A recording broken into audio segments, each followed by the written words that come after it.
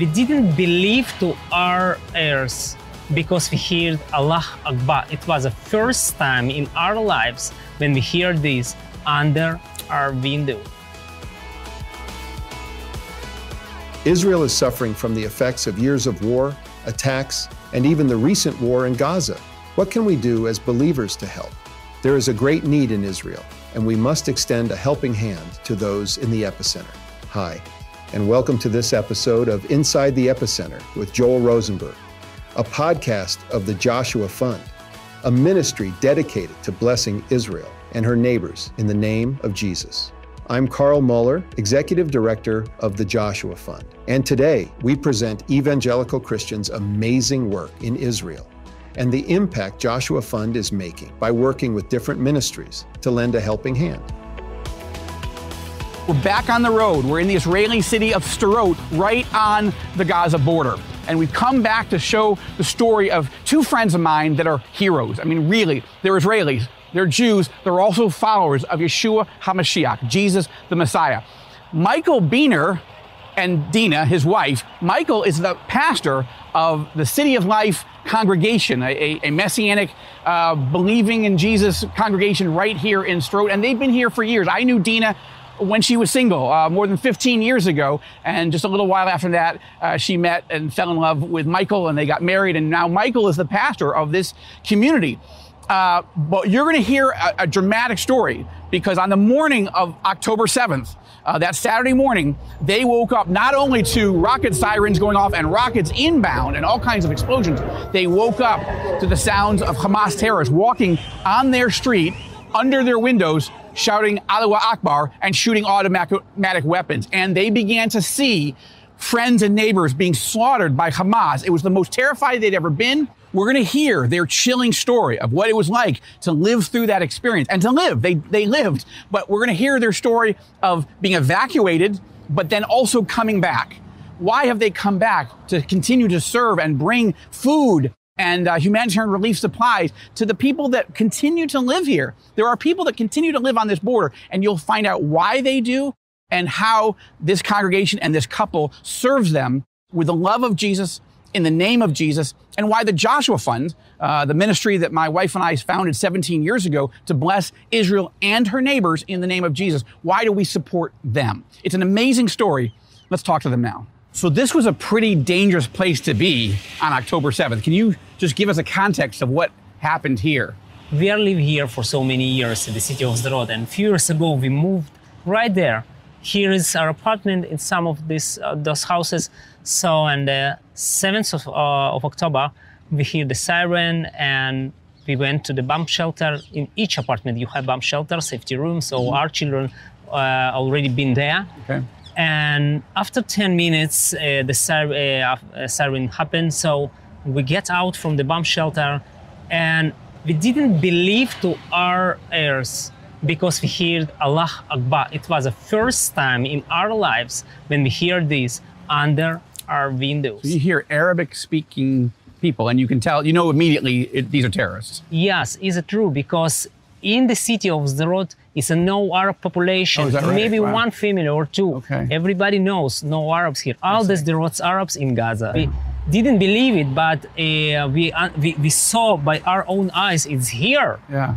And it started to shoot from the machine gun. This is uh, was my first machine time. gun. Yes. Okay. First time in our lives when we hear it. And uh, Dina tried to record something, but then he saw the terrorists. Oh wow! Came here over there. So, so you guys were looking down from your windows, yes. and they were uh, the, the terrorists were coming out all around this uh, yes. the store, Rami Levy.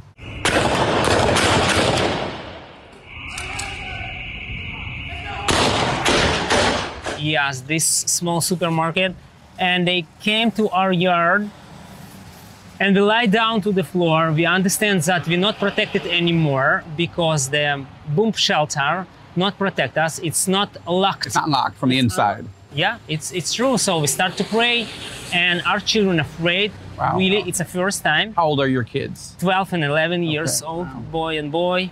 They kill people everywhere there. Here in this street, mm. they shoot to the Rami Levy. They shoot for the some of the windows there. And they shoot to some of the cars there. Because you you've lived here for maybe 23, 24 years so yeah. far. Yes. and then you guys got married 99. uh, years later. So you're you. I'm not saying used to it, but you're strong. You, you live here for a reason. Yes. Like you're not usually scared, uh, even though it's uh, it's a hard place to live. But You are, but on this day, it was different. Это просто мы, мы не привыкли жить э, с ракетами, но мы знаем, что делать во время ракет. it's believe us, it's not normal also for us to live with the rockets and explosions. Anybody will live in these conditions, but uh, during the va- during the um, years we have some experience how to react on it, how to act at this moment. I know you guys love the Lord Jesus, but why do you live here? Э, я точно знаю, что Бог меня призвал I'm сюда. surely know that God called me be here, live here. И я несколько раз, да, хотела уехать с города, For потому several что я times, мала, uh, э, в то время была не замужем, я была свободна.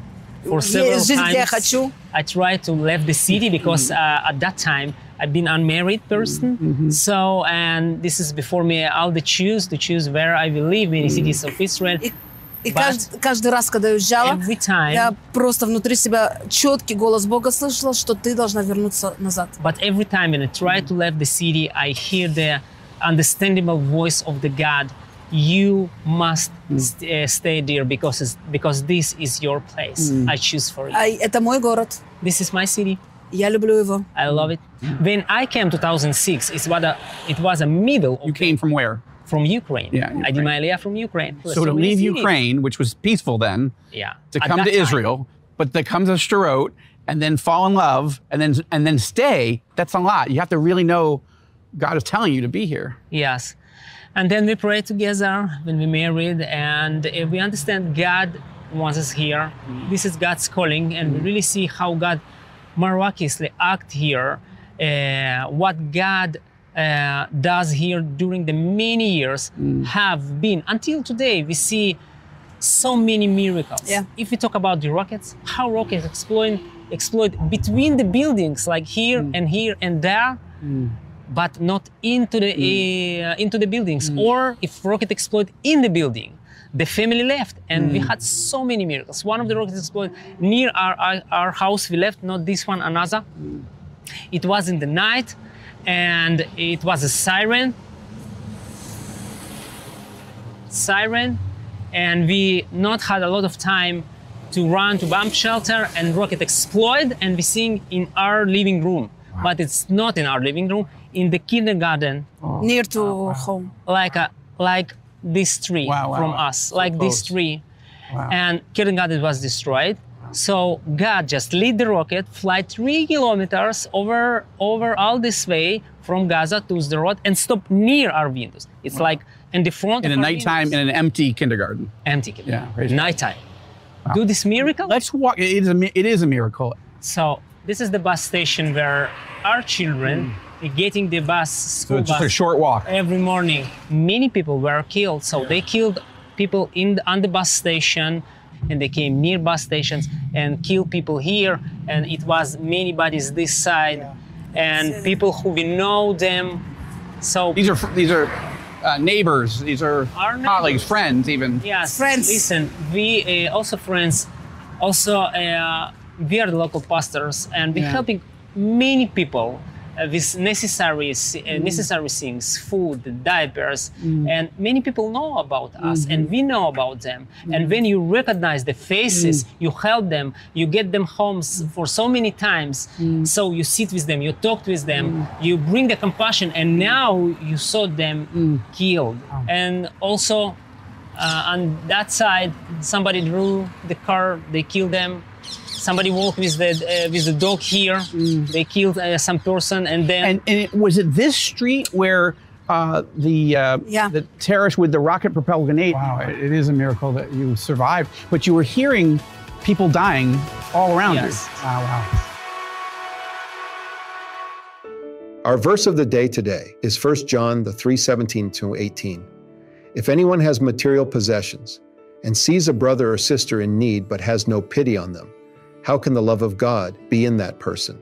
Dear children, let us not love with words or speech, but with actions and in truth. Our prayer requests today are pray for pastors, leaders, and believers that they continue to serve there, that God will strengthen them. Second, pray that God continues to provide a resource for Joshua Fund and other ministries to continue to reach the people of Israel with the gospel and with the needed resources. This is our humanitarian storage warehouse. So now it's busy because we also have not so much time, not enough time to organize everything. Right, right. So many stuff. We coming with uh, putting, we bring to the people still diapers, food, uh, toilet papers, Mm. uh, and uh, here is some games. So here normally we pack, we do the line from these two tables. Okay. Long line and pack uh, the An assembly line. uh, yes, assembly line that also Joshua Fund bring us, Mm. uh, and we put many many stations, like four, six stations, and then people stay, six volunteers, four volunteers, Okay. and packing everything. And every uh, every month, like in a normal life, a regular life, ordinary life, so it's coming to the fa- needy families. Okay. But now it's more, and also we need more logistic. Mm-hmm. So how to help people during the wartime? It's the first time in our life we have such a hard experience. Yeah, this is worse than any war Yeah. that Israel has had. Uh, everybody's telling me since since 1948, since Yeah, the this is Independence what- War. True. This is what we feel. Well, I wanted to say that uh, the Joshua Fund is so honored to help you because you're serving, uh, caring for people, whether they believe in Yeshua or not. Right? Yeah. You just love people because you love people, and they're part of Sderot, and they're needy, and um, and that's what the Joshua Fund wants to do is help the pastors, help the people. Yes, it is. This hmm. is our heart to help everybody, not hmm. connection with any religion or something, just need. All day, Joshua Fund staff and volunteers have been working with members of this local congregation to deliver bags of food to needy families all over the city of Sderot. It feels like a miracle because, by the grace of God and nonstop prayer, we haven't had a single rocket attack in Sderot all day. And it's a true honor to come alongside this faithful pastor and his wife to bring food and other relief supplies to a sweet but shell shocked Israeli family with nowhere else to go.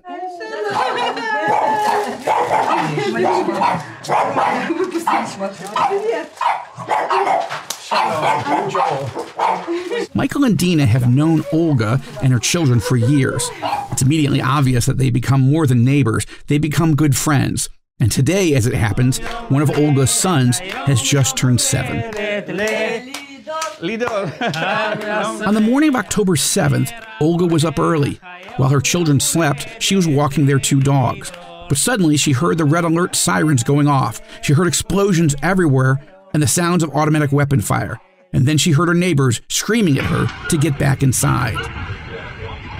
И я когда потом начала возвращаться домой уже, вот тут вот, And when I get home, мне мужчина начал event, с окна кричать, беги домой, есть террористы. uh, some of our neighbors start to cry to me, uh, fast, fast, fast, run, run to home because there is the terrorists.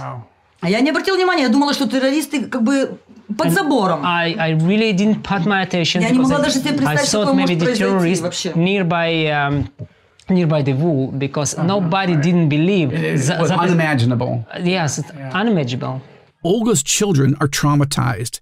She tells me they're not sleeping well. Sometimes they're even too scared at night to run to the bathroom, and she's too afraid to send them to school. Can I ask you uh, where you're from originally? Ukraine. Ukraine. Okay. Ukraine. So I'm also sorry about that. Um, yeah, you'd think that you'd be safer here, but but why do you live in Sderot? And how long have you been here? Я в в Израиле 25 лет. For 25 years already, I'm here in Israel. Я приехала сюда live с in папой Israel. э, в Арад. I came with my father to the city of Arad. И здесь я училась в Сапире, жила в Бельбиме. I had my study here, University. Okay. here in the College of Sapir. It's an university И here. тут in- познакомилась со своим мужем. И and осталась. here I met my uh, husband, and they, this why I stayed there. Wow, wow. Are you going to stay after this? Um, Да. Yeah. Yes, it is. Why? А куда мне бежать? Do I have some place? It's a sobering thought. Olga and her children have no other place to go. They can't go back to war torn Ukraine, but nor do they have the financial means to move away from Sderot to some safer part of Israel. And if that weren't enough, not too long ago, they suffered a terrible family tragedy. Э, Я не могу уехать, потому что I don't get out because uh, я не могу продать квартиру из-за того, что муж умер. И Yes, because I had the tra- tragedy. Uh, it's uh, when it's happened one year ago. Саптам. One year Полтора ago, года. oh, one and a half year ago, my husband died. So sh- she's Olga, she's widow, and the children is orphans. Try to imagine yourself in Olga's shoes. Your husband has died, You're raising four children and two dogs on your own in a war zone with very little money and nowhere else to go. I thank God she has friends like Michael and Dina who are standing with her, not out of pity, but out of respect, compassion, and unconditional love. And I thank God for the opportunity that He's given my Joshua Fund colleagues and me to come alongside them as well, to serve them in some small way and let them know they're not alone. Yes, hear you and even meet you and share your story with other people. э, Несмотря на то, что ты нас не видела раньше, но я с удовольствием поделюсь твоей историей, тем, что ты сказала с людьми. Спасибо. Спасибо вам. And Bog любит вас. И мы Бога любим и верим. Amen. I'm glad he And protected we also love and believe Поэтому мы to здесь. God. This why we here because we love and believe to God. One of the things I love about you guys, and s- ever since I first met you, I think 15 years ago, is how much you both love uh, Yeshua, Jesus, as the Messiah. Um, so you've had many years of telling people about the Lord. Um, first, why? And then, are, are you seeing fruit? Are you seeing people say yes to the Lord? Да, конечно, я видела людей, которые э, согла- от- принимали Ишуа как своего личного спасителя. Uh, for sure, I saw many people here who received Yeshua as a Savior and the Lord. Это моя, это главная цель, э, какую я вижу здесь, э, на, на этой земле, в Израиле. Это говорить, что Ишуа, Машех, и нет другого спасителя, кроме него. The, uh, this is the main goal uh, for why we live here in the earth and why we are here in Israel to tell to the people that God loved them and have for them plan of salvation. Amen. You were telling me a story that when you saw the pictures of the people that were killed in front of that bus stop, that you knew one of them. Я не знала всех, Да. я, я знала некоторых. И я- есть там одна женщина, с которой мы знакомы уже, наверное, три года. И три года я э, молюсь за нее и говорю с ней, разговариваю о спасении. Yes, it was many people, but uh, one of them, it was my friend, with who I get know already three years, and we talked a lot for uh, for the Lord, and I pray for her already three years. И я считаю, это настоящее чудо, что три, э, за три недели до происшествия она покаялась и приняла спасение And it Ишуа. was real miracle that three weeks before she died, she prayed and received Yeshua as a savior and the И Lord. мое сердце спокойно, что она сейчас не my пошла в ад. Had she been open to the Lord over those years or sort of not interested? Нет, она полностью отрицала. She she rejected. A true Israeli. Не, не, она говорила, «Э, я, ты мне нравишься, я, я хочу с тобой общаться, say- но не надо мне ничего говорить о Боге. She said, "I love you. You are a very nice person." So, but stop to talk about God. Э, я еврейка, я ничего не хочу I'm слушать. Jewish. I don't hear you. I don't like it. И мне понадобилось время, чтобы показать, что Ишо, он еврейский мессия. It uh, was needed time to show her that Yeshua, Jesus, is a Jewish Messiah. Месс- И просто пришел такой момент, что она сказала, да, я, я верю, я понимаю, я хочу пригласить его в свою And the жизнь. moment came that she said, "Yes, I understand, Wow. believe." And nobody could have known, right? None of us, the, the government didn't know, you didn't know, she didn't know that how little time she had left before she would not be able to make that decision anymore. Амен, амен, амен, амен. Да, это, это правда, поэтому наши сердца должны быть всегда готовы. And our hearts need be ready anytime. Thank you guys for devoting your lives to telling people, showing people, but also sharing directly, speaking to them about the Word of God, the prophecies, and who Yeshua is, how much He loves us. Our Amen. our um, our people really don't know. Yeah. But when we think of a moment where someone that you knew and loved and who said yes finally was then killed, it, it, I, I, as tragic as it is, it, it also makes your lives worth it because you you weren't quiet, right? You did share, and she did say yes. Wow, Yeah. praise God. Yeah. Slava Boga. Amen, Bless you. Bless you. I'm so grateful for you, sister, and you, brother. Thank you. Wow, what an amazing story and an amazing couple. I love Michael uh, and Dina Beener. I've known Dina since uh, she was single, uh, since she before she even met uh, Michael, and she was living here in Sderot. And then uh, not long after I got to know her, uh, uh, Michael was an answer to prayer that she would find someone who loved the Lord and they could serve and minister together. And I love them and I love their heart. They're shepherds. They continue to love their people here in this city. Uh, they love them whether they believe in Jesus or not. But of course, they want them to come to know Jesus. And that was an amazing story as uh, Dina told one of her friends right? Uh, that uh, she loved and cared for and ministered to who didn't want to believe in Jesus, but ultimately she made that decision. That woman made a decision to receive Jesus as her Messiah. And three, three weeks later, uh, she was murdered by Hamas. I just praise God that she made that decision in time. And I know she's in heaven now. And, uh, and I'm grateful for the ministry of Michael and Dina. I want to encourage you to continue to pray for them and for all the pastors and ministry leaders here in Israel as they continue to serve their communities, uh, particularly stricken communities uh, like the one here in Sderot. Uh, I want to encourage you to continue to, to give to ministries like the Josh Fund as we uh, hold up their hands, as we provide uh, money and supplies, and of course, humanitarian relief uh, to ministries like the one here in Sderot. Thank you for listening to this episode and learning about the work that is going on in the Middle East and the importance of giving and helping those in need, even when they are not believers. If you have found this podcast really valuable, please get in touch with us.